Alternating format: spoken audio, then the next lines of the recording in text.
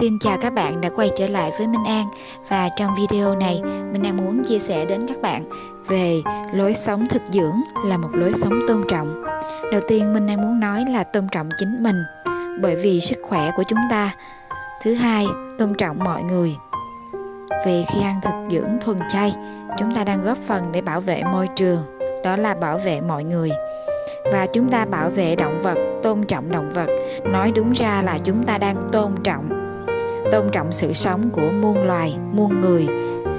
Và chúng ta cũng tôn trọng cả hệ sinh thái của thực vật.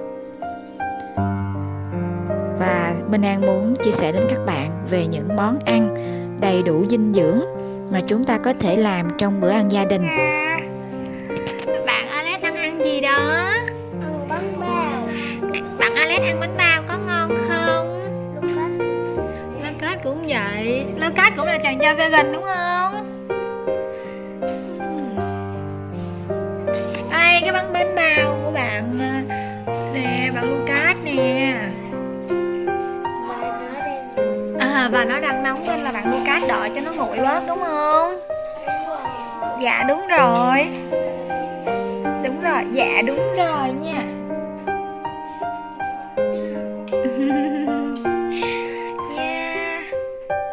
Dưỡng sinh không chỉ đến từ những món ăn, mà còn đến từ không khí, ánh sáng, nguồn nước.